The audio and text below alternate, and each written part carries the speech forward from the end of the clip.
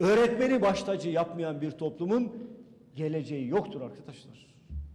Bugün geldiğimiz nokta arkadaşlar. UNICEF'in yaptığı çalışma var. Türkiye eğitim kalitesi bakımından 41 ülke arasında sonuncu. 4 artı 4 eğitim sistemi parlamentoya bir kanun teklifi olarak verildi. Bakanlar Kurulu'nda görüşülmedi. Milli Eğitim Bakanlığı'nda görüşülmedi. Milli Eğitim Şuralarında görüşülmedi. Kalkınma planlarında yoktu. Beş milletvekili imza attı altına. Beş milletvekili. Beş milletvekilinin hiçbirisi eğitimci değildi.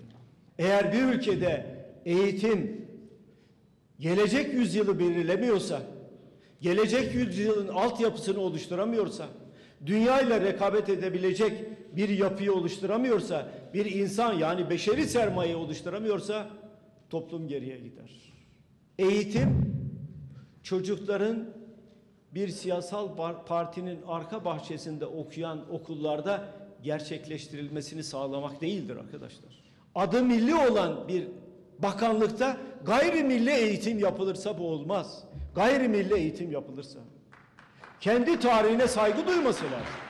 Eğer okulları bir siyasal partiye militan yetiştirmek gibi düşünürseniz kaybeden Türkiye olur.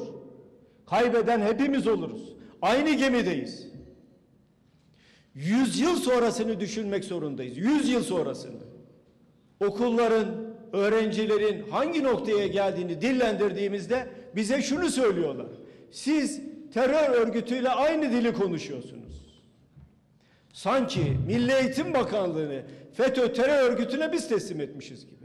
Ya Milli Eğitim Bakanlığı daha düne kadar FETÖ terör örgütünün elindeydi. Onlar yönetiyordu Milli Eğitim Bakanlığı'nı. Paralel eğitim sistemi kurdular. Biz bunu dillendiriyoruz, rahatsız oluyorlar. Zaten siz rahatsız olun diye dillendiriyoruz. Bir Milli Eğitim Bakanlığı'nı yani milli eğitimi terör örgütüne teslim eden bir hükümete ne diyeceksiniz? Onlar ne istedilerse verdiler. Kendileri de itiraf ettiler. Okul istediler, okul verdiler. Öğretmen istediler, öğretmen verdiler. Arsa istediler, arsa verdiler. İhale istediler, ihale verdiler. Üniversite iste- istediler, üniversite verdiler. Peki Allah aşkına söyler misiniz? Devlet okullarında çalışan öğretmen ne istedi de neyi vermediler? Ne istediyse hiçbir şeyi vermediler. Biz çocuklarımızın güzel bir eğitim almasını istiyoruz. Çağdaş bir eğitim almasını istiyoruz. Bilimsel bir eğitim almasını istiyoruz. Onların ufuklarının gelişmesini, büyümesini istiyoruz. Bizim arzu ettiğimiz bu. Ben bu toplantıya katılacak, düşüncesini açıklayacak, ufkumuzu genişletecek bütün değerli konuşmacılara yürekten teşekkür ediyorum. Hepiniz hoş geldiniz, sağ olun, var olun diyorum.